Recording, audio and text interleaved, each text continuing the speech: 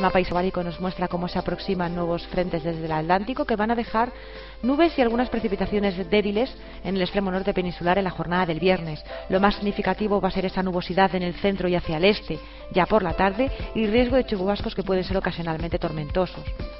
En cuanto a las temperaturas, las diurnas tienden a descender de forma prácticamente generalizada, sobre todo en el norte de la península.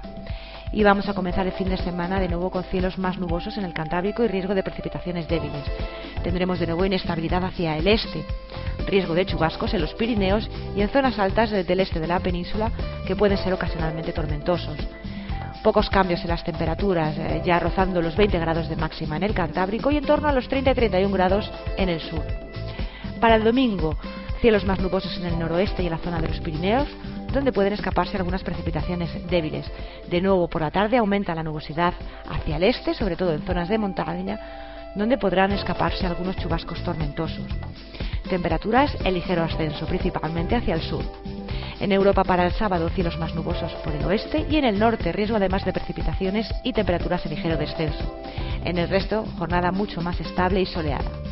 El domingo persisten esas precipitaciones al norte y hacia el sureste del continente tenderá a empeorar con riesgo de chubascos que pueden ser tormentosos.